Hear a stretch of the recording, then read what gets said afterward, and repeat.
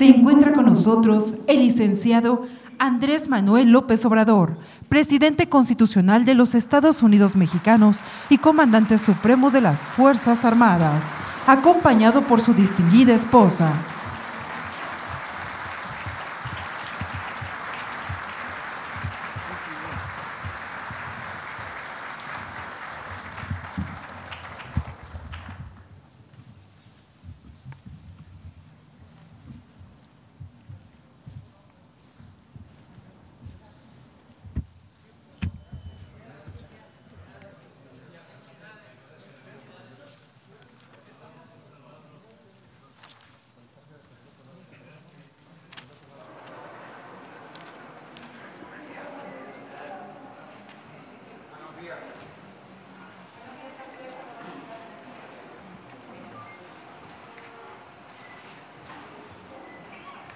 Damos inicio a esta ceremonia con los honores correspondientes al presidente constitucional de los Estados Unidos mexicanos y comandante supremo de las Fuerzas Armadas.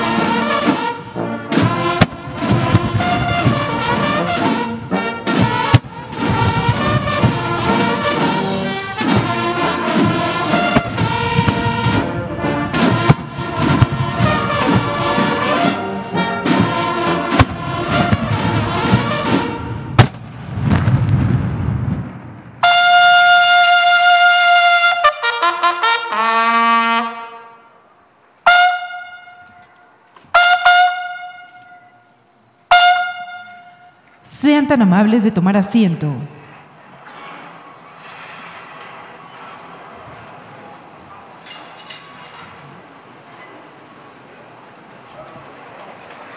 Preside este desayuno conmemorativo al 111 aniversario del Día del Ejército Mexicano e inauguración de las nuevas instalaciones de la industria militar, el presidente constitucional de los Estados Unidos mexicanos y comandante supremo de las Fuerzas Armadas, licenciado Andrés Manuel López Obrador.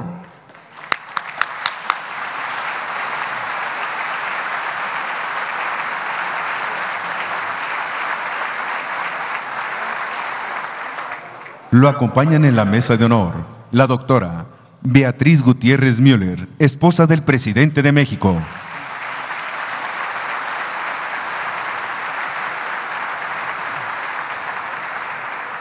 General de División Diplomado de Estado Mayor, Celestino Ávila Astudillo, comandante del Ejército Mexicano.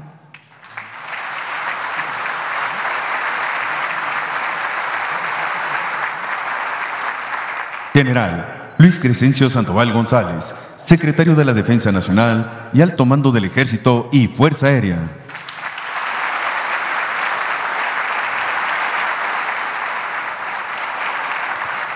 Almirante José Rafael Ojeda Durán, secretario de Marina y alto mando de la Armada de México.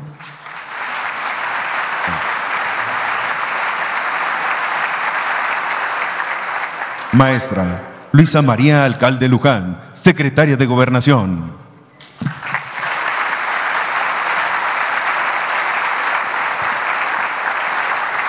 Licenciada Rosa Isela Rodríguez Velázquez, secretaria de Seguridad y Protección Ciudadana.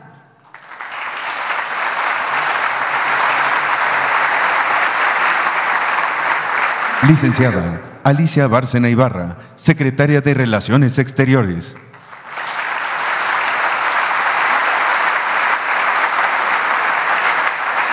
Licenciado Sergio Salomón Céspedes Peregrina, Gobernador del Estado de Puebla.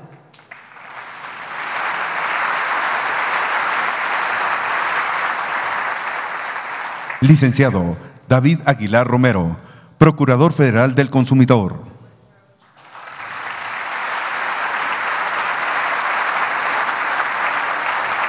General de División Diplomado de Estado Mayor, Enrique Cervantes Aguirre, quien se desempeñó como Director General de Industria Militar de 1988 a 1994 y como Secretario de la Defensa Nacional del año 1994 al año 2000.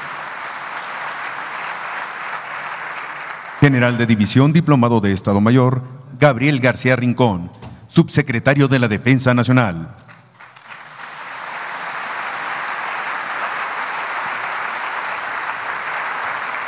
Almirante de Cuerpo General Diplomado de Estado Mayor, José Luis Arellano Ruiz, Subsecretario de Marina.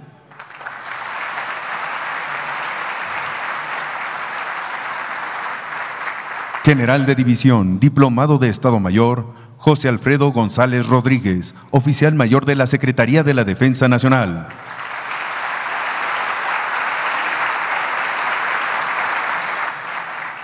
Almirante de Cuerpo General Diplomado de Estado Mayor, César Carlos Preciado Velázquez, Oficial Mayor de Marina.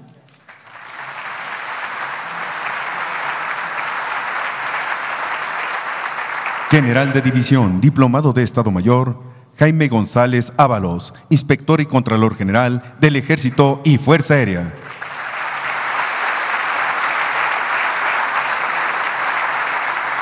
Almirante de Cuerpo General Diplomado de Estado Mayor, Julio César Pesina Ávila, Inspector y Contralor General de Marina.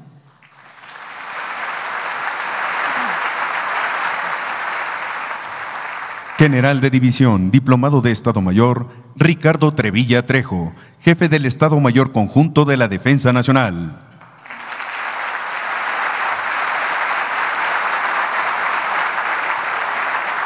Almirante de Cuerpo General Diplomado de Estado Mayor, Alfredo Hernández Suárez, Jefe del Estado Mayor General de la Armada.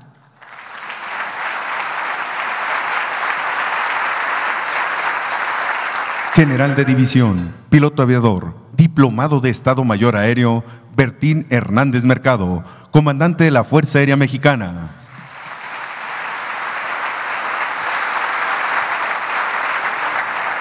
Comisario General David Córdoba Campos, Comandante de la Guardia Nacional.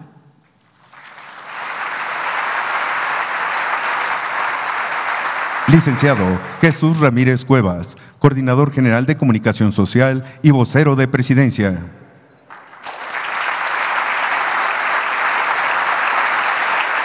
General de División de Estado Mayor Julio Álvarez Arellano, Comandante de la Sexta Región Militar. y General de División de Estado Mayor, Andrés Fernando Aguirre Osunza, Director General de Industria Militar.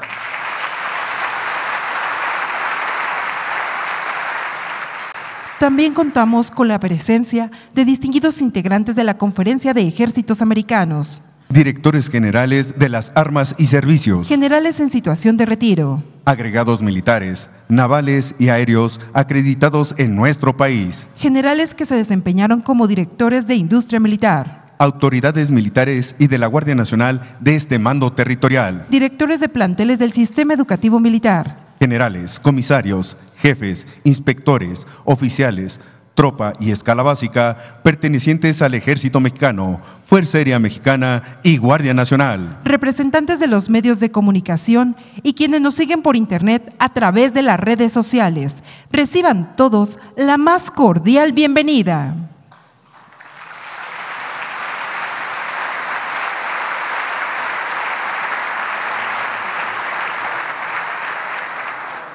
Hace uso de la palabra el general de división diplomado de Estado Mayor, Celestino Ávila Astudillo, comandante del ejército mexicano.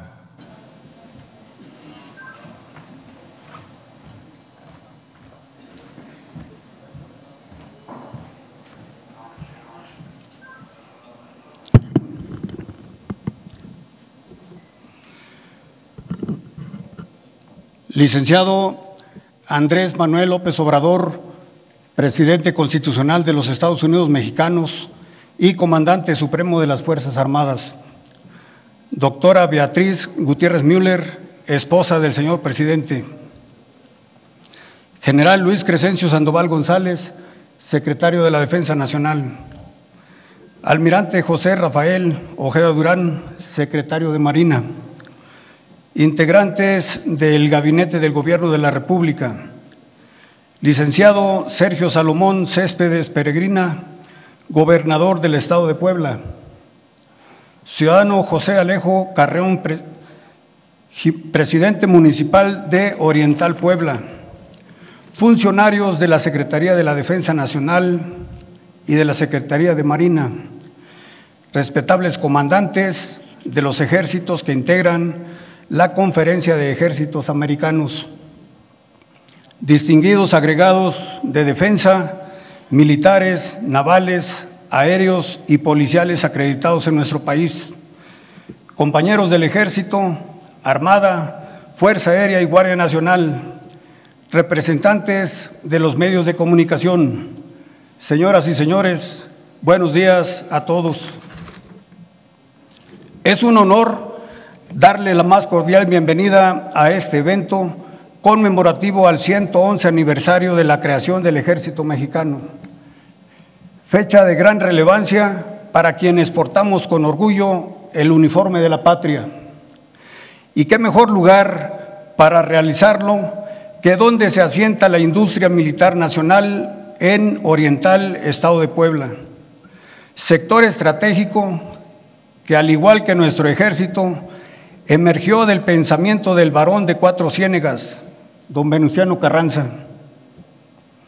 Recordar que fue el 19 de febrero de 1913, en el contexto, contexto de la Revolución Mexicana, ante la usurpación de la primera magistratura del país, que Carranza, aún siendo gobernador del estado de, de Coahuila, con el respaldo del Congreso Estatal, expidió el decreto 1421 en el que, en su artículo segundo, se le concedían facultades extraordinarias para armar fuerzas y coadyuvar al sostenimiento del orden constitucional eh, de la República. Con este decreto se logró organizar un ejército incipiente que más adelante se le denominaría ejército constitucionalista, una institución castrense que sentó sus bases en los anhelos de libertad igualdad y justicia social de muchos mexicanos, al que también se sumarían las masas campesinas bajo el llamado de la unidad nacional.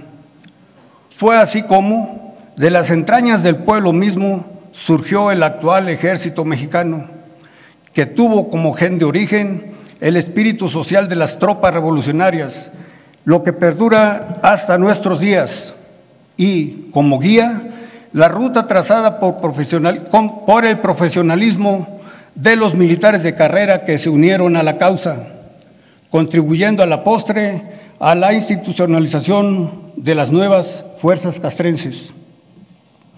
Después de casi cuatro décadas de servicio a la nación y considerando el precepto con el que se organizó la fuerza para restaurar el orden constitucional, el 22 de marzo de 1950 mediante el decreto presidencial 720, se instituyó el 19 de febrero como Día del Ejército Mexicano. A 111 años de su creación, hoy, esta institución armada cuenta con valientes soldados surgidos del pueblo, mujeres y hombres leales y profesionales que diariamente en toda la geografía nacional cumplen con sus misiones sustantivas para garantizar la seguridad en el país y contribuir al desarrollo colectivo.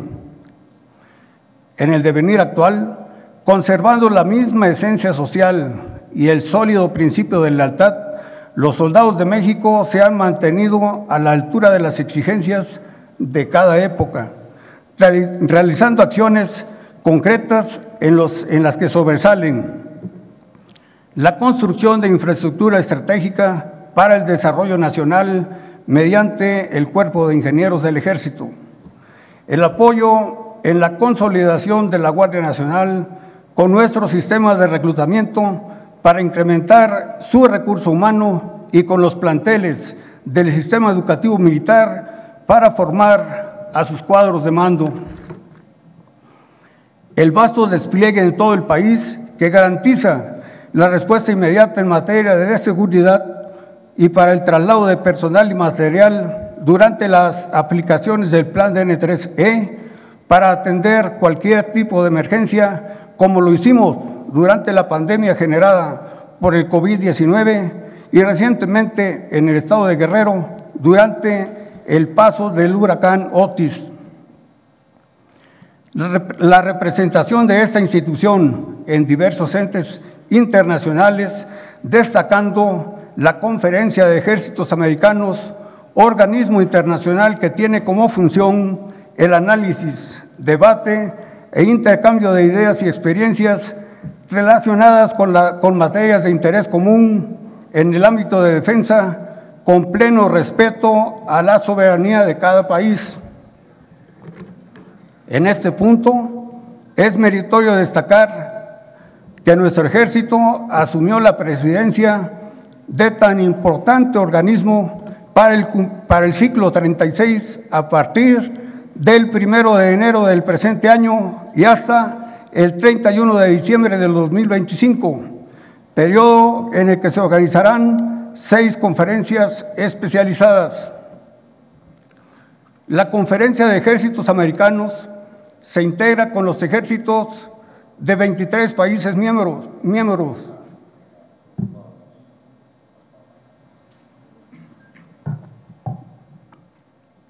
dos países en calidad de observadores, tres países como observadores especiales, así como dos organizaciones militares observadoras que son la Junta Interamericana de Defensa y la Conferencia de Fuerzas Armadas Centroamericanas, de los que 24 representantes se encuentran hoy aquí con nosotros.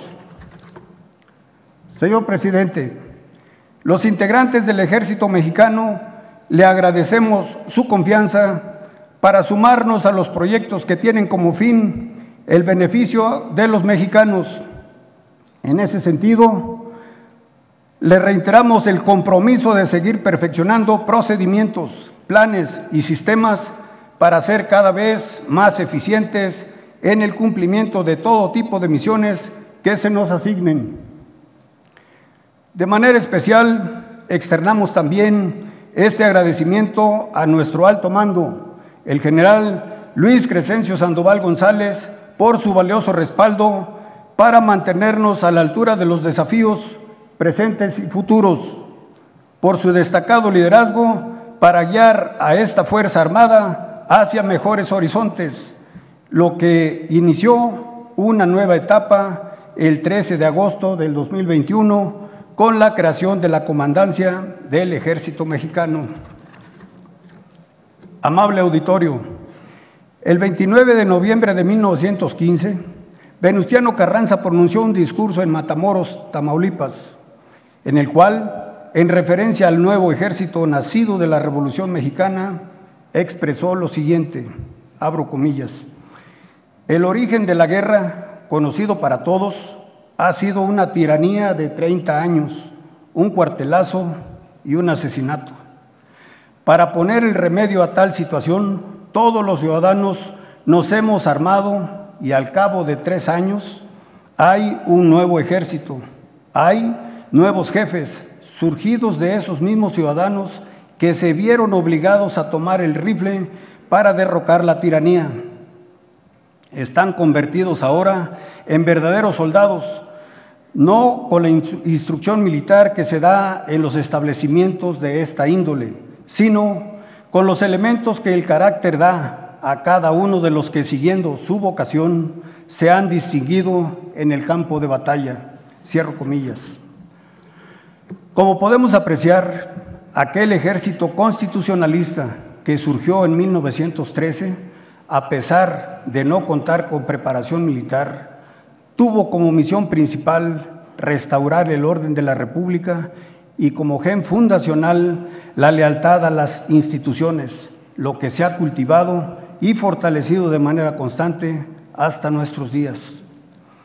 Desde aquel discurso que pronunció Carranza en Matamoros, han transcurrido más de 108 años en los que se han consolidado el ejército mexicano que ahora somos. Un ejército profesional, incluyente, vanguardista y polivalente que cumple con sus misiones sustantivas y otras más orientadas al progreso nacional, una institución que evoluciona de manera constante a la par de los avances del entorno nacional y global.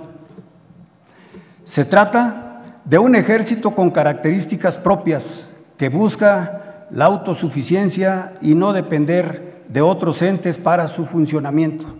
Por ello, contamos con nuestra fábrica de vestuario y equipo, con una vasta infraestructura hospitalaria y un sistema educativo militar altamente profesional y competitivo.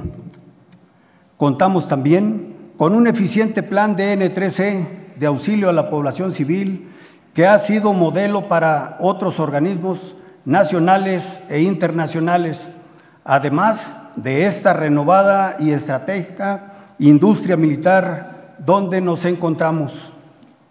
Es así que, con este complejo logístico al que hoy se adhieren nuevas instalaciones, cumplimos con la visión del primer jefe del ejército constitucionalista, que en el año de 1916, en su ideario para encauzar al país, mencionó la conocida frase, abro comillas, hay que fabricar nuestras propias armas y municiones si no queremos que nuestros asuntos internos los resuelvan aquellos que nos las proporcionan. Cierro comillas. A pesar de todos los logros alcanzados a lo, a lo largo de estos años, quiero mencionar que lamentablemente ha habido ocasiones en las que, cumpliéndole a México, valientes soldados han dado el máximo sacrificio. A todos ellos nuestra admiración y reconocimiento a sus respetables familias, nuestra solidaridad y apoyo total. Estamos conscientes de los riesgos que muchas veces se presentan en algunas misiones o tareas que llevamos a cabo. Sin embargo, lo hacemos convencidos de que formamos parte de la institución creada para garantizar la seguridad interior y defender la soberanía nacional. Con ese espíritu de servicio a la patria y con ese ánimo propositivo, seguiremos el rumbo de la brújula que nos ha guiado con firmeza hacia el cumplimiento del deber. Continuaremos fortaleciendo los sólidos cimientos de que el ejército que nació del pueblo durante la Revolución Mexicana.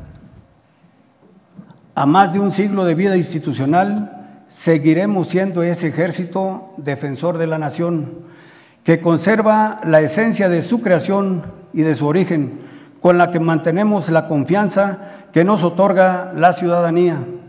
Seguiremos como hasta ahora lo hemos hecho, sumando esfuerzos con las instituciones de la República, colaborando estrechamente con la sociedad y gobiernos, pero sobre todo seguiremos contribuyendo con nuestro actuar diario al progreso y desarrollo de México, haciendo eco del lema que acompaña a nuestro ejército en todos los rincones de la patria, siempre leales. Muchas gracias.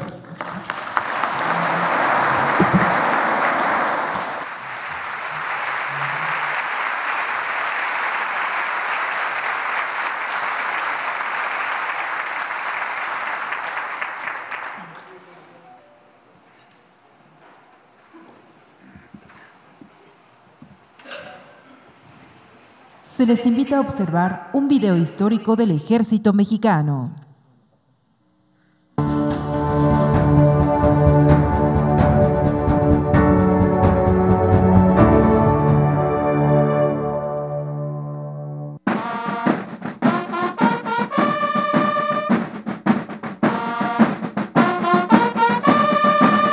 derivado de los asesinatos del presidente Francisco I. Madero y del vicepresidente José María Pino Suárez, perpetrados por el general Victoriano Huerta, en la llamada decena trágica. El gobernador de Coahuila, Venustiano Carranza, desconoció al gobierno espurio, declarándose en rebeldía. Por lo anterior, el Congreso del Estado de Coahuila emitió el decreto número 1421 de fecha 19 de febrero de 1913, que en su artículo primero desconocía al gobierno de Huerta y en su artículo segundo creaba el ejército constitucionalista. Citado artículo decía textualmente lo siguiente. Se conceden facultades extraordinarias al Ejecutivo del Estado en todos los ramos de la administración pública para que suprima los que crea convenientes y proceda a armar fuerzas para coadyuvar al sostenimiento del orden constitucional en la República.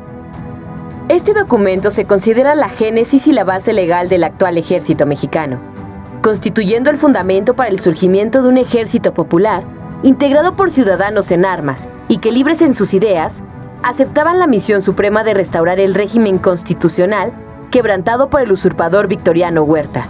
El ejército mexicano tiene sus raíces en nuestra historia como nación. El 16 de septiembre de 1810, el cura Miguel Hidalgo y Costilla, en compañía de los capitanes Ignacio Allende y Mariano Abasolo, iniciaron el movimiento de independencia en el pueblo de Dolores, conformando un ejército insurgente nutrido del pueblo que iniciaría la lucha armada contra el dominio español. Lucha que continuó José María Morelos y Pavón, siervo de la nación, al igual que muchos otros insurgentes, y que culminó años más tarde, con la entrada triunfal del ejército trigarante a la Ciudad de México, el 27 de septiembre de 1821. Entre los años de 1836 y 1867, nuestro país atravesó tiempos convulsos, resultado de las ambiciones expansionistas de gobiernos extranjeros y de algunos malos mexicanos, quienes pretendían mancillar la soberanía e integridad territorial. Estos hechos pusieron a prueba la identidad, el nacionalismo y la unión de los mexicanos y en los que se puso de manifiesto el honor, valor, lealtad, sacrificio y el amor a la patria de los soldados de México. Es así que las fuerzas militares bajo la guía de Venustiano Carranza dieron origen al actual ejército mexicano, el cual desde hace 111 años ha preservado la soberanía de nuestra nación, ha luchado para defender la integridad y hoy en día salvaguarda la libertad y seguridad de los mexicanos. En la etapa final de la Revolución Mexicana se llevó a cabo la firma de los tratados de Teoloyucan, el 13 de agosto de 1914, dando fin a la lucha armada y disolviendo al ejército federal, quedando el ejército constitucionalista como la única fuerza armada del país, integrado por el pueblo mismo, que con espíritu revolucionario luchó por la defensa de la libertad, igualdad, legalidad y justicia social. En la primera mitad del siglo XX, dio comienzo una etapa de reorganización del ejército constitucionalista para transformarlo en el ejército actual, institucionalizando a las Fuerzas Armadas de nuestro país y profesionalizando a sus integrantes, mediante la creación de distintos planteles de formación de oficiales, del que sobresale la Escuela Superior de Guerra en el año de 1932, Centro de Altos Estudios Militares, del que han egresado 4.371 oficiales de Estado Mayor, con la responsabilidad de asesorar a los mandos superiores y ejercer en su oportunidad los más altos cargos en la estructura de esta Fuerza Armada, siendo los responsables de concebir y dirigir proyectos estratégicos, tales como el Plan DN3E, que ha trascendido las fronteras del país para llevar auxilio a otras naciones. Durante la Segunda Guerra Mundial, el ejército mexicano inició reformas significativas al crear las regiones militares del Pacífico y del Golfo de México. Se instituyó el servicio militar obligatorio para hacer frente a esta conflagración mundial y a la posible agresión de nuestro territorio, habiéndose delineado además una moderna doctrina mexicana de guerra, constituyéndose también el Estado Mayor de la Secretaría de la Defensa Nacional. A principios de la década de los años 80, el ejército mexicano, como parte de su desarrollo, llevó a cabo la adquisición de nuevos ingenios de combate, la renovación del parque vehicular, la construcción de instalaciones y la evolución de la educación y doctrina militar, sobresaliendo la creación del Colegio de Defensa Nacional en 1981. El ejército mexicano continuó el proceso de actualización de su doctrina, mediante la creación en 1998 del Centro Nacional de Adiestramiento, que permitió materializar ejercicios de armas combinadas y operaciones conjuntas, constituyéndose, hasta esta fecha, como un componente fundamental del adiestramiento militar y un referente entre los ejércitos de América Latina. Con la entrada del nuevo milenio, surgen en el mundo nuevas amenazas a la seguridad internacional, y nuestro país no es ajeno a estos antagonismos, como son el terrorismo, la delincuencia organizada transnacional, el problema mundial de las drogas, la corrupción, el tráfico ilícito de armas, los desastres naturales y los riesgos a la salud, entre otros, los cuales demandan la voluntad, el compromiso y la atención integral del Estado mexicano y en donde las Fuerzas Armadas desempeñan un rol fundamental para enfrentar estos óbices a la seguridad nacional. Esta Fuerza Armada ha sabido encarar estos desafíos adaptando su estructura, medios y doctrina habiendo emprendido un proceso de cambio de paradigma, consistente en la reorganización de la Secretaría de la Defensa Nacional, con la conformación del Estado Mayor Conjunto, la creación de diferentes organismos del sistema educativo militar, y el 13 de agosto de 2021 pasó revista de entrada la Comandancia del Ejército Mexicano, constituyéndose como un organismo de dirección estratégica proyecto trascendental que permitió establecer las bases para la administración y el desarrollo de esta Fuerza Armada. En lo conceptual, se actualizó la planeación estratégica y se elaboró su plan para el desarrollo de la fuerza, que permitirá incrementar sus capacidades en el corto, mediano y largo plazo. El compromiso de los soldados de tierra exige mirar al futuro a través de los procesos de mejora, a la par del desarrollo de nuestro país y de acuerdo a las necesidades que se han presentado. Es así como el Instituto Armado se ha adaptado y mantenido atento a los riesgos y amenazas surgidas a nivel global, como la pandemia del COVID-19, mediante la aplicación del Plan DN3E para auxiliar a la población en caso de desastres, y recientemente en Guerrero, durante el paso del huracán Otis. Actualmente, más de 144 mil mujeres y hombres portan el uniforme de la patria cumpliendo diariamente sus misiones en todos los rincones de nuestro vasto territorio. Cabe destacar la valiosa contribución que las mujeres militares realizan a esta institución, quienes hoy en día se desempeñan en todos los ámbitos de la actividad castrense en organismos militares y más allá de nuestras fronteras, en operaciones para el mantenimiento de la paz.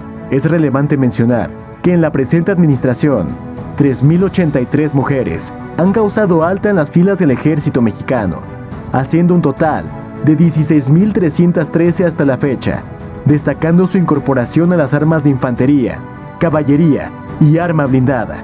Hoy como ayer, el ejército mexicano seguirá siendo una fuerza de la República, una fuerza que vela por las libertades y derechos de la sociedad, siempre orgullosos de sus orígenes. Los soldados se comprometen con el pueblo de México a continuar su labor de servicio a la nación, dando siempre muestra de lealtad, unidad y fidelidad a toda prueba, porque sólo así cumplen con el mandato constitucional de servir a la patria. Gobierno de México.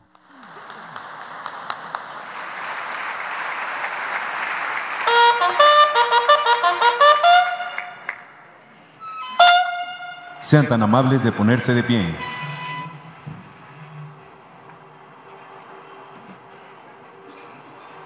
En el marco del 111 aniversario del Día del Ejército Mexicano, el presidente de la República hará entrega de condecoraciones al personal militar que se ha destacado en las diferentes actividades que realiza este Instituto Armado. Mérito militar por realizar actos de relevancia excepcional en beneficio de las Fuerzas Armadas servicios distinguidos por su perenne entrega y lealtad a la institución, demostrando sobrado celo, esmero y dedicación en el cumplimiento de su deber. Distinción militar en reconocimiento a los actos o hechos que hagan patente el intercambio de experiencias y conocimientos con la institución. Distinción en el desempeño del Plan DN3E. Se otorga al personal que lleva a cabo actividades de planeación, coordinación y apoyo a damnificados en áreas de desastre. Distinción de desempeño en operaciones por participar destacadamente en las actividades de apoyo a la estructura de seguridad pública para disminuir la violencia en el país. Distinción de desempeño en adiestramiento por realizar sus actividades de adiestramiento en forma destacada. Reconocimiento a la innovación militar por realizar cambios que permitieron optimizar métodos de trabajo y actividades en los organismos. Asimismo, hará entrega de menciones honoríficas a diversas unidades del Ejército por su destacado desempeño en la localización e inhabilitación de laboratorios de drogas sintéticas en el país, acción que constituye un ejemplo digno de tomarse en consideración y de ser emulado por los demás organismos militares.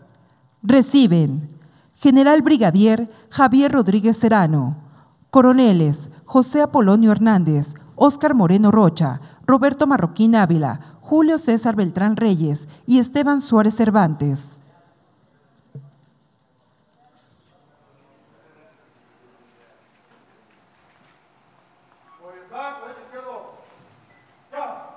Coroneles Emanuel de Jesús Camarillo Vázquez, Rolando Méndez Cruz y Gisael Padilla Antúnez. Tenientes coroneles Eibar Arturo Rodríguez Sánchez, Hugo Hernández Contreras y Carlos Mauro Martínez Salinas.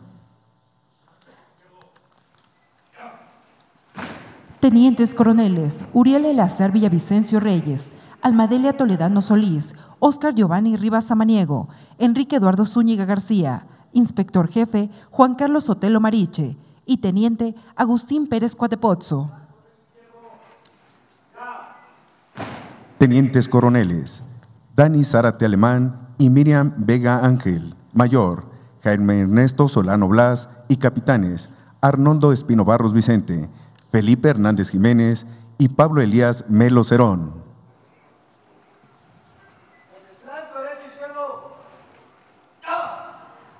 Teniente Coronel Katy Liliana Salas Cruz, Capitán Manuel Jesús Echeverría Palmero, Oficial Enoch Galindo Fernández, Teniente Bernardo Pérez Domínguez, Subtenientes César Ademir Larre Guerrero y Jacinto García Márquez.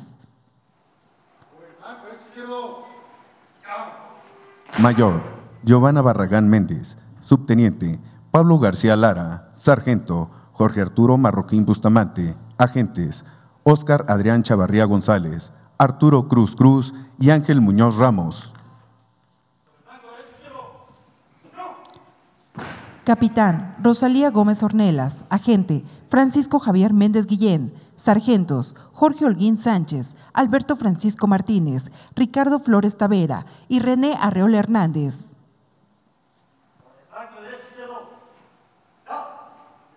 Capitán Lisette Daniela González, sargentos Telésforo Hernández Lorenzo, Omar Hernández Salto, Isaac Neri Faustino, Valentín García Mesa y Cabo Javier Santiago Martínez.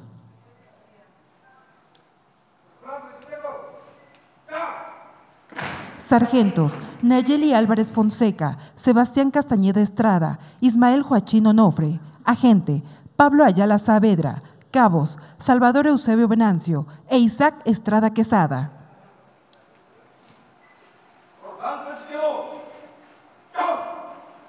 Sargento Miguel Sánchez Hernández, agente Miguel Ángel Martínez Méndez, subagente Ricardo Cruz Santiago, cabos Isaid Lucero Ramírez y José Alberto Guzmán Narváez, y soldado Samantha Abigail Padilla Fabián.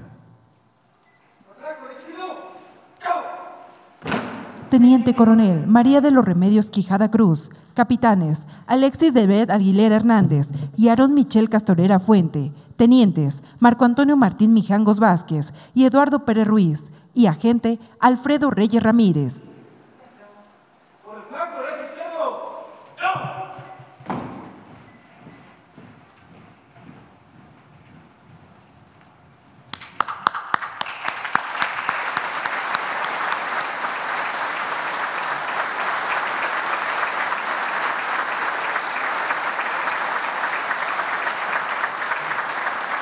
En honor al personal condecorado en esta fecha, la banda de guerra ejecutará el toque militar 3 de Diana.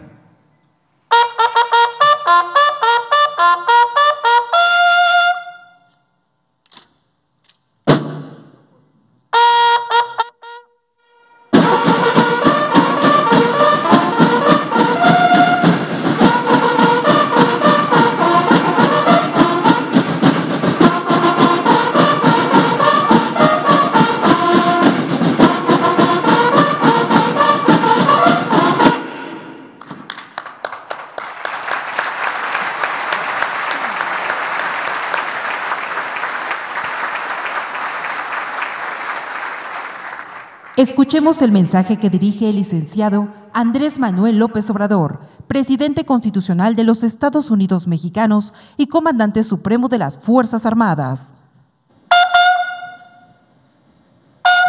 Favor de...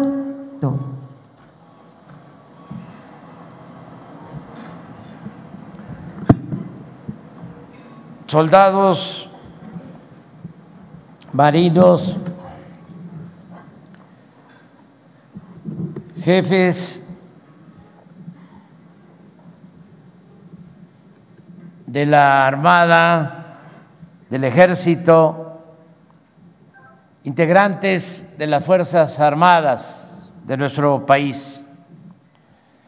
Me da mucho gusto participar en esta conmemoración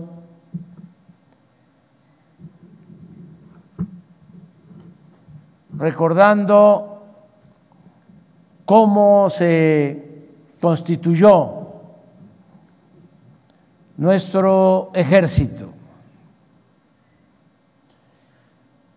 Esta institución que es un pilar del Estado Nacional. Recordemos que en este mes de febrero de 1913 se presentaron acontecimientos muy lamentables en la historia de nuestro país porque en febrero de 1913 comenzó una asonada y se llevó a cabo un golpe de Estado. Se detuvo al presidente, de la República, Francisco y Madero, al vicepresidente José María Piro Suárez,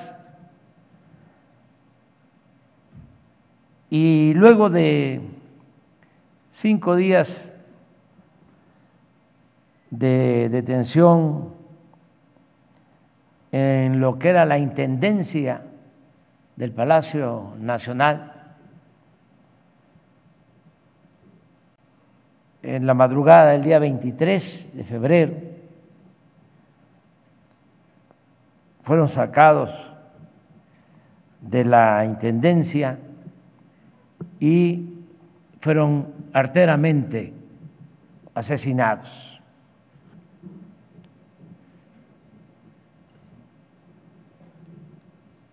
Antes de eso,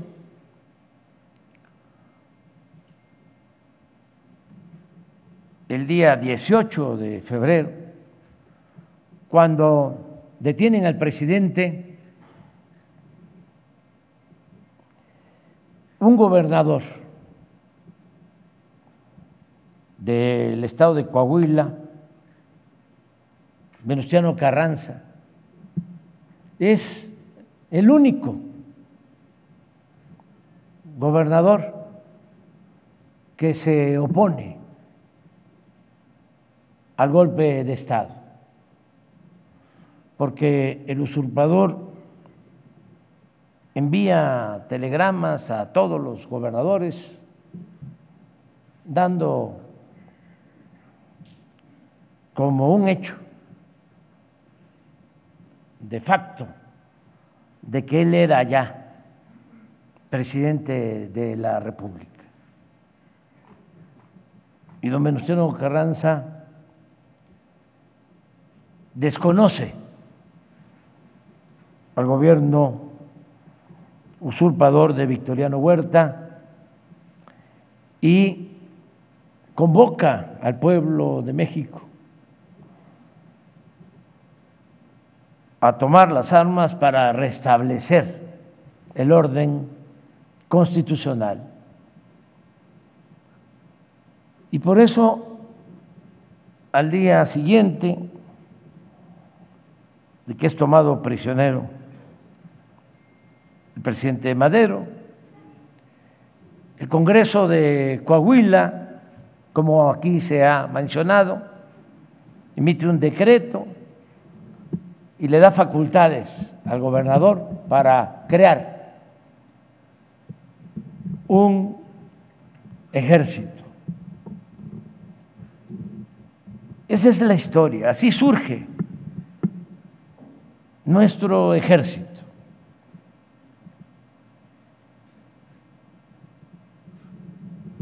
Por eso es importante recordar que desde que triunfó la revolución maderista fue muy difícil eh, hacer realidad el ideal de libertad y de democracia que enarbolaba Francisco y Madero. Desde su entrada triunfal a la Ciudad de México el primero de junio de 1911 hasta su cobarde asesinato en la madrugada del 23 de febrero de 1913, el presidente Madero padeció un angustioso viacrucis, porque eh, triunfó la revolución maderista y fue eficaz, porque no eh, le llevó mucho tiempo. El presidente Madero convoca al pueblo de México a tomar las armas el 20 de noviembre de 1910.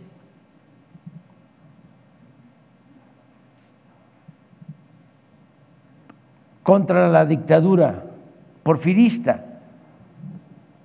porque se tiene que tener en cuenta que Porfirio Díaz llegó eh, por la fuerza la presidencia con la bandera de la no reelección. En 1876 y se quedó en la presidencia 34 años. Por eso fue la revolución maderista con el lema de sufragio efectivo, no reelección.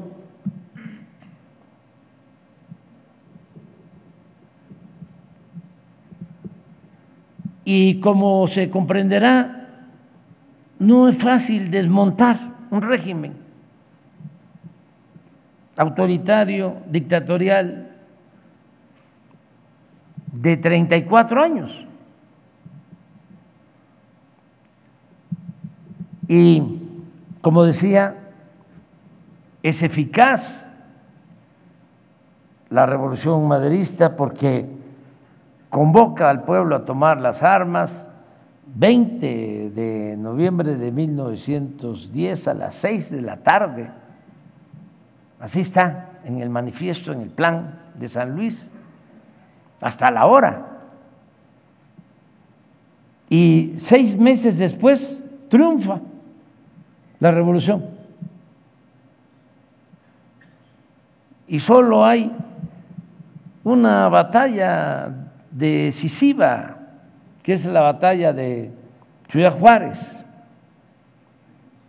en mayo de 1911. Y ahí se pacta la renuncia de Porfirio Díaz y se acuerda tener un gobierno interino para convocar a elecciones.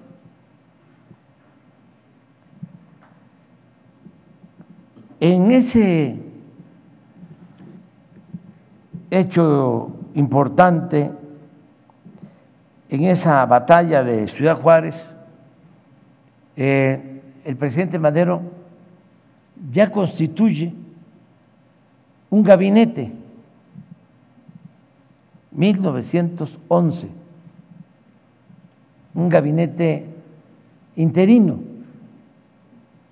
y ya nombra a Venustiano Carranza desde 1911 como secretario de guerra. De modo que cuando don Venustiano, siendo gobernador, enfrenta a Huerta y convoca a la creación del ejército, ya sabía de lo que se trataba. Madero fue muy atacado, es el presidente que ha sido más atacado y traicionado en nuestra historia, al grado de que el gran escritor José Vasconcelos llegó a decir que México no se merecía a Madero, porque era un hombre bueno, íntegro, honesto, con vocación libertaria. No ha habido en México un presidente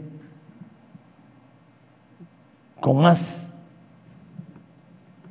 voluntad, vocación y definición en favor de la democracia. Sin embargo, su sacrificio y el de un millón de mexicanos no fue en vano. Gracias a la revolución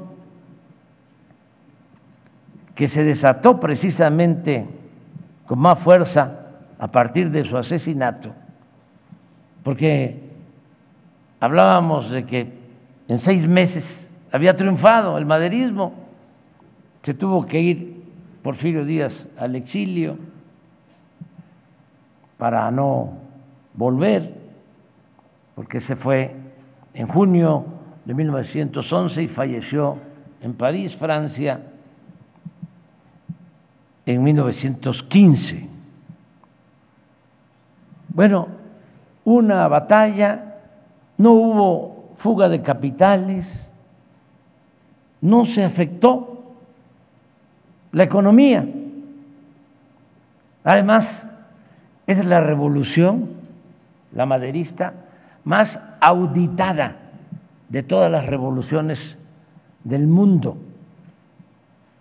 porque cuando se pacta en Ciudad Juárez, se acuerda que el Congreso tenía que devolver a los maderistas lo que habían invertido para llevar a cabo la revolución. 630 mil pesos. Y se les devuelve a los que habían aportado para la compra de armamento y también para pagar abogados, sacar de la cárcel a revolucionarios y otros gastos.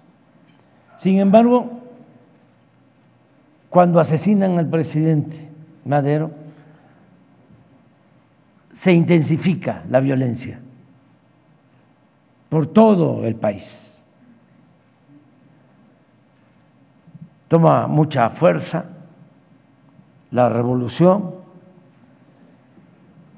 y hay, como dije, la pérdida de muchos mexicanos que mueren por la violencia y también por las pandemias y por el hambre. Pero como lo mencionaba, no fue en vano ese esfuerzo, ese sacrificio, porque luego se aprobó la Constitución de 1917, que fue sin duda la más avanzada del mundo en cuanto a justicia social.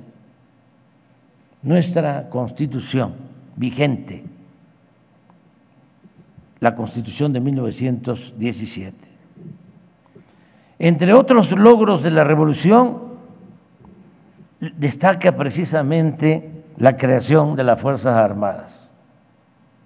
No se debe olvidar que el actual ejército nació, como se constata en este acto, el 19 de febrero de 1913, al llamado del gobernador de Coahuila, Venustiano Carranza, para desconocer y combatir a Victoriano Huerta, luego del golpe de Estado contra Madero, y que por ese origen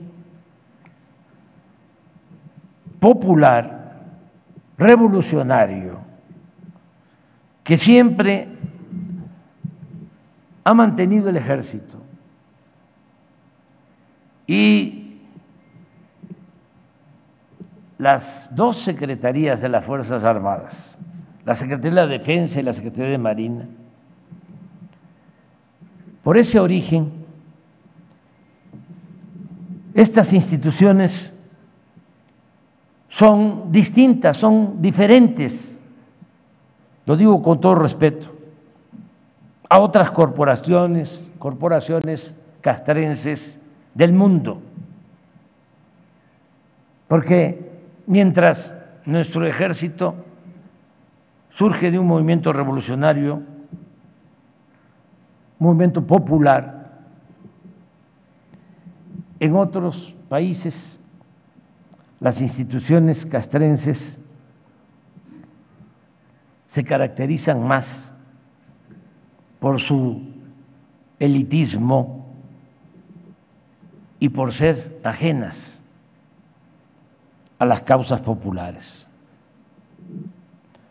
Por eso no debe extrañarnos que ahora, en esta nueva revolución pacífica, pero profunda y humanista, nuestro país, no olvidemos, han habido tres grandes transformaciones, la independencia, la reforma y la revolución.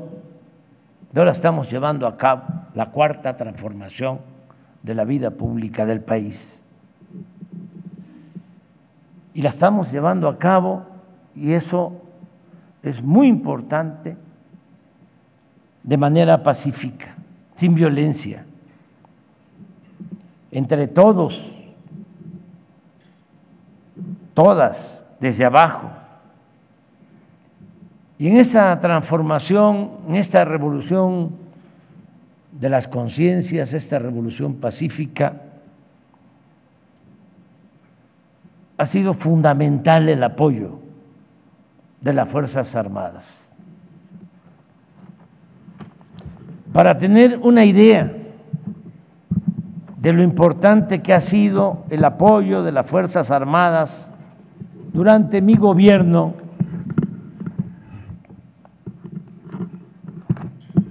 les comparto lo que ha realizado la Secretaría de la Defensa, solo la Secretaría de la Defensa. No incluyo lo realizado, que ha sido también muy importante por la Secretaría de Marina. Desde el primero de diciembre del 2018, la Secretaría de la Defensa, hasta nuestros días, nos ha ayudado en el cumplimiento de la misión de desarrollar a México, de promover el progreso de nuestro querido México.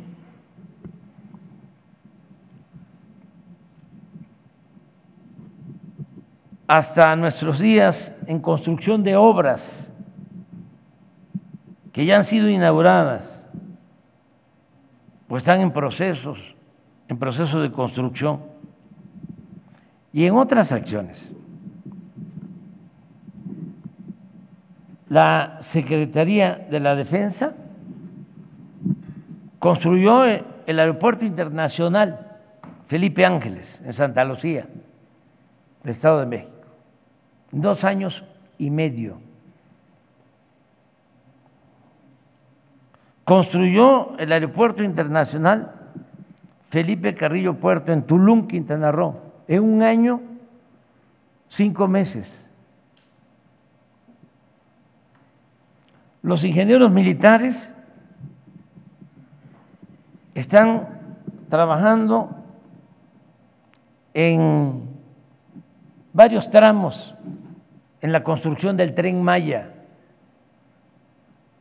Para tener una idea de lo que significa esta obra, no hay actualmente en el mundo ninguna obra de esa magnitud. No existe en ningún país una obra así, de 1.554 kilómetros de vías férreas. Bueno, en esa obra están trabajando en varios tramos.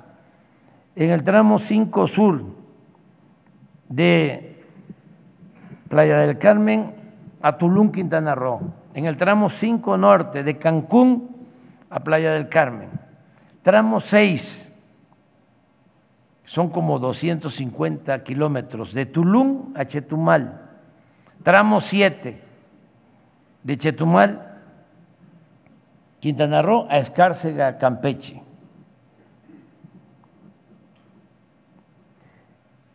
También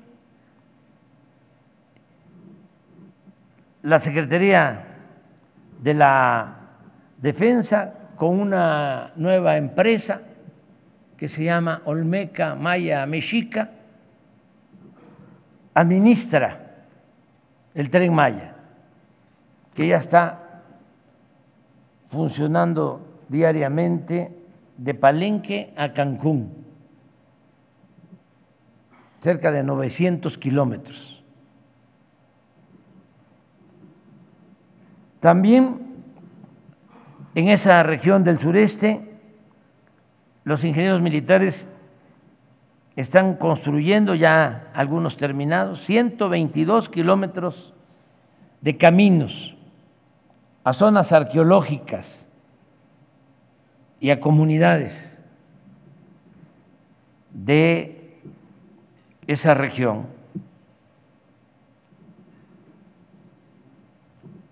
El camino, por ejemplo, Vida y Esperanza, en el tramo 5, el camino de Felipe Carrillo Puerto hasta Vigía Chico que para seguir con la historia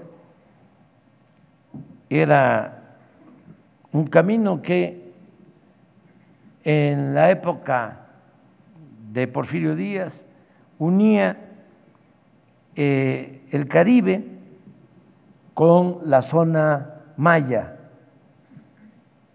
lo que ahora es Felipe Carrillo Puerto y que antes se conocía como Chan Santa Cruz se está restableciendo ese tramo.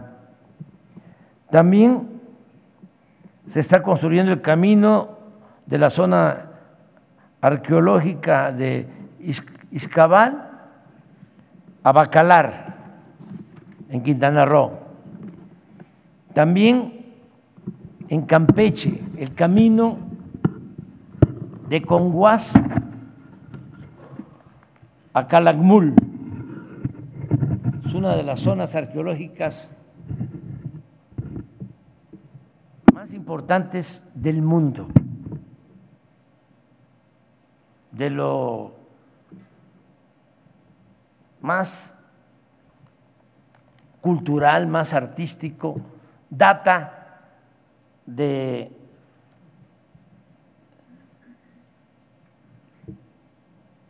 trescientos años antes de la era cristiana. Y son templos y arte, murales, arqueología de primer orden. Recordemos que toda la región de la cultura maya es de las más importantes del mundo en lo arqueológico, en lo cultural, en lo artístico. Además de eso, allá donde se está trabajando, porque se le está dando como nunca importancia al sureste. En los últimos 36 años, 40 años, eh, creció nuestro país de manera muy dispareja. Para empezar, eran como islas nada más de crecimiento. Los pueblos eh, quedaron en el abandono, se despoblaron las comunidades, los municipios del país y crecieron las ciudades fronterizas, crecieron eh, los centros turísticos y algunas ciudades del centro del país, muchos mexicanos tuvieron que irse a buscarse la vida del otro lado de la frontera. Y lo mismo, creció el norte, en promedio 4% anual durante tres décadas, el centro 2% anual, pero el cero por ciento en más de 30 años. Entonces, ahora es distinto. Ahora por la inversión pública se está dando atención preferente al sur-sureste para buscar equilibrar, para que el desarrollo sea horizontal. Y ya el año pasado ya tuvimos como resultado que el sur-sureste creció el doble que lo que creció el norte. Y lo más importante de todo, que a pesar de la pandemia, por esta atención a los estados con más pobreza en el país, ya el INEGI ha dado a conocer que en nuestro gobierno se redujo la pobreza y se redujo la desigualdad, algo que nos llena de orgullo. De modo que sí se puede eh, mejorar las condiciones de vida, de trabajo de nuestro pueblo, si se tiene la voluntad de hacerlo.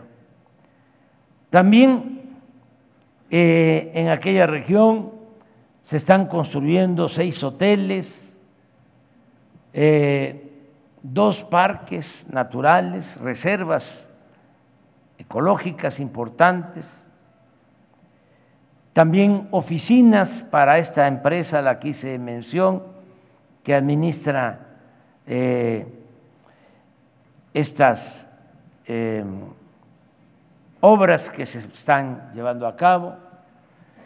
También eh, nos están ayudando los ingenieros militares con la rehabilitación y el mantenimiento de 1.157 kilómetros de caminos rurales y alimentadores, 1.115 kilómetros de carreteras federales en el sur sureste, en Campeche, Chiapas, Tabasco, Veracruz, Yucatán, Quintana Roo, porque eh, la piedra que se usa para colocar los rieles del tren Maya es una piedra especial, un balasto que se tiene que llevar desde los Tuxtlas. No hay en el sur sureste. es una piedra, es un fierro prácticamente.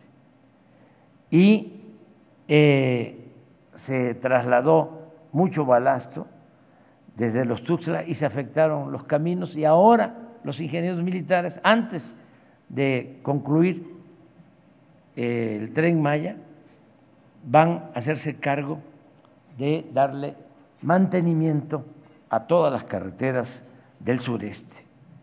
También, adicionalmente, porque fuimos a visitar la Tierra Caliente de Guerrero y ahí se acordó que los ingenieros militares van a rehabilitar el camino de Tejupilco hasta Ciudad Altamirano.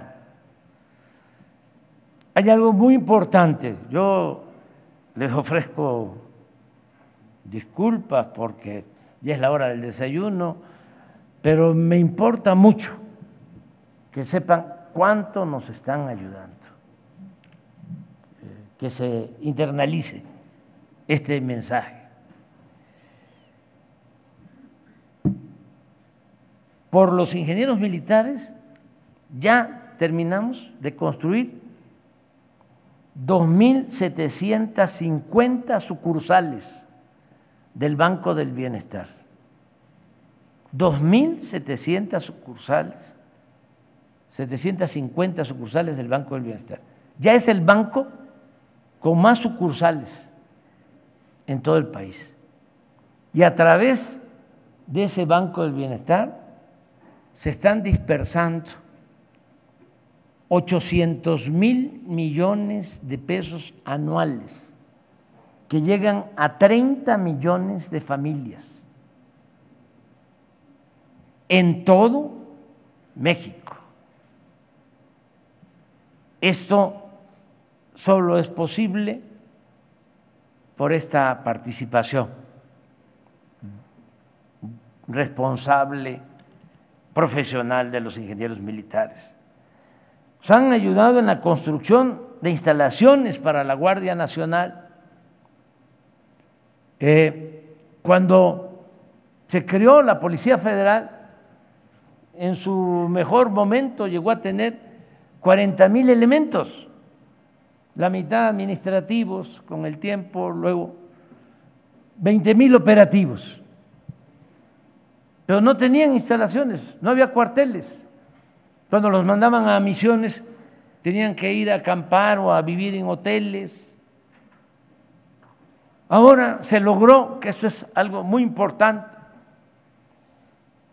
se reformó la constitución para que tanto la Secretaría de Marina como la Secretaría de Defensa, las Fuerzas Armadas, puedan ayudarnos en tareas de seguridad pública porque no podían hacerlo. Lo prohibía la Constitución. Se logró eso porque ustedes saben que necesitamos pacificar el país, que es muy importante el que se le garantice a los ciudadanos la paz, la tranquilidad. Ahora se creó la Guardia Nacional, ya tiene 133 mil elementos la Guardia Nacional. Y estoy enviando, está ya en el Congreso una iniciativa, porque considero que es fundamental que la Guardia Nacional pase a formar parte de la Secretaría de la Defensa, para que no se corrompa para que con disciplina, con profesionalismo, siga consolidándose como una institución de protección a los mexicanos, que garantice la seguridad pública. Bueno, ya la Guardia Nacional tiene 671 instalaciones.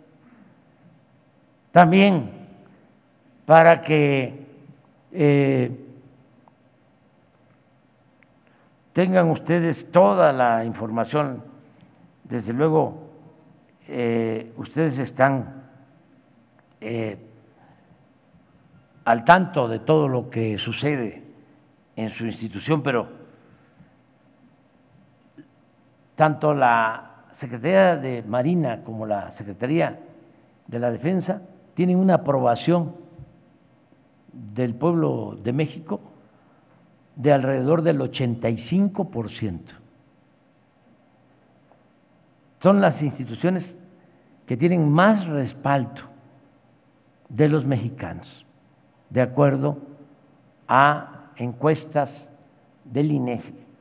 Y ya la Guardia Nacional, que apenas lleva un poco más de cuatro años de constituida, ya está arriba del 75% de aprobación. Por si fuese poco, eh, nos ayudan los ingenieros militares, estamos eh, por terminar un distrito de riego en Nayarit, el distrito de riego Alejandro Gascón Mercado. Vamos a regar 46 mil hectáreas. Son 516 kilómetros de canales. También para que dimensionemos lo que esto significa, en cinco sexenios, 30 años, los cinco gobiernos anteriores eh, instalaron riego en 22 mil hectáreas. 22 mil hectáreas. Solo este distrito de riego va a permitir riego para 46 mil hectáreas. Esto lo están haciendo los ingenieros militares.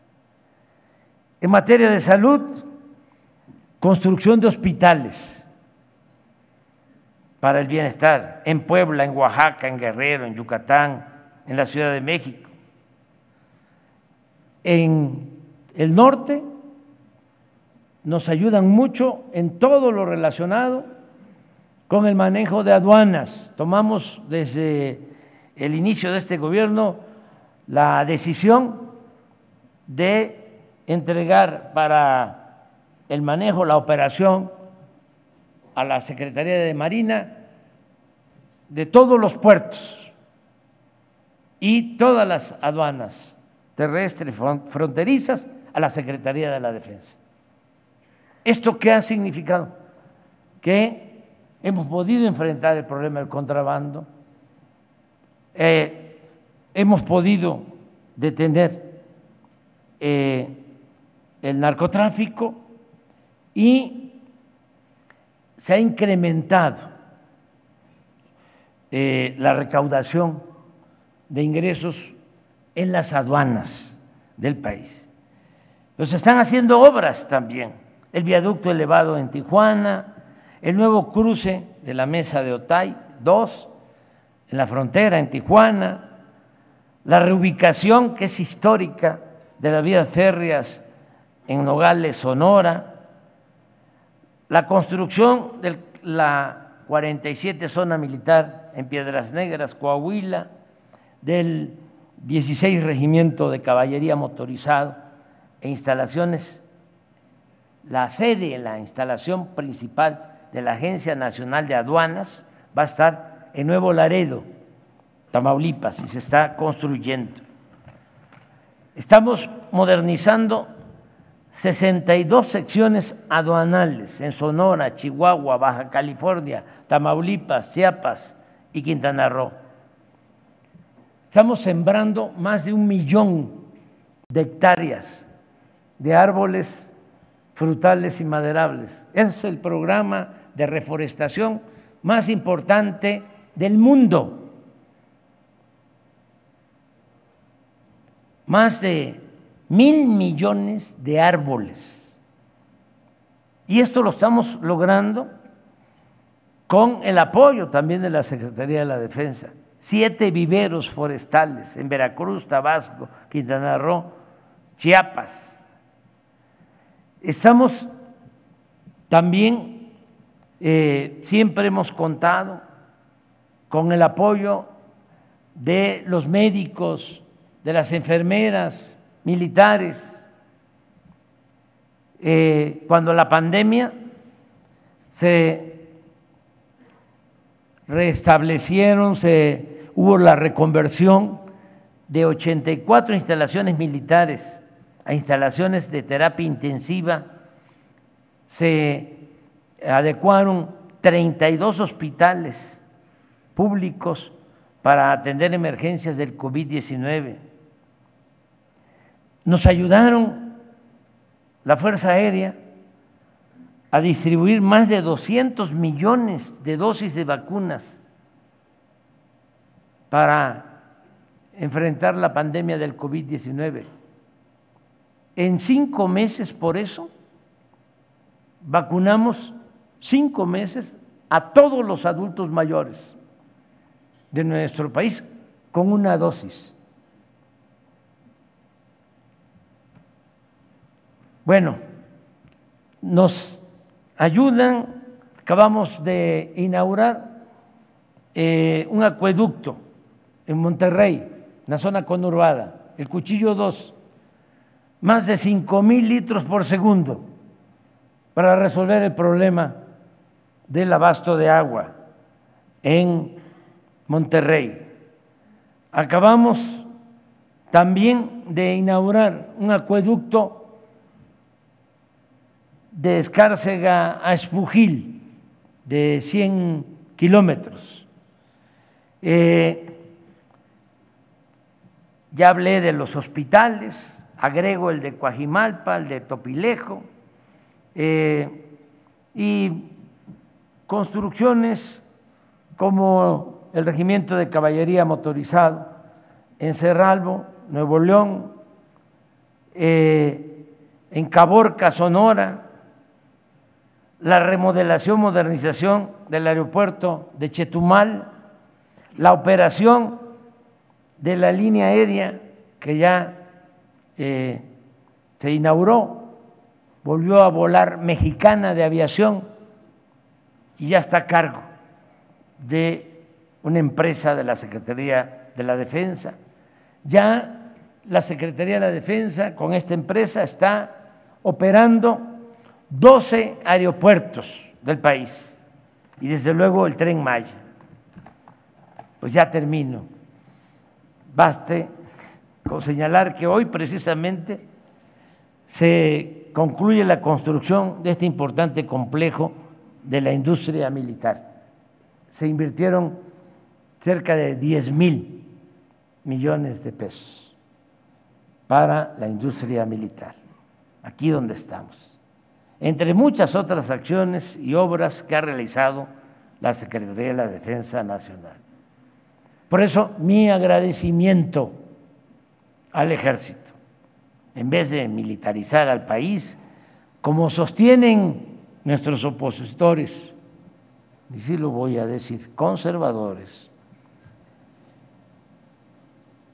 En vez de eso, en vez de estar pensando en la militarización del país, lo que está quedando de manifiesto es que los soldados de México, el soldado es pueblo uniformado, las mujeres y los hombres de las Fuerzas Armadas son trabajadores, son leales y son patriotas.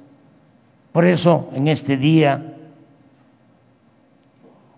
exclamo, manifiesto, sostengo que viva el ejército nacional. ¡Viva México! ¡Viva México! ¡Viva México!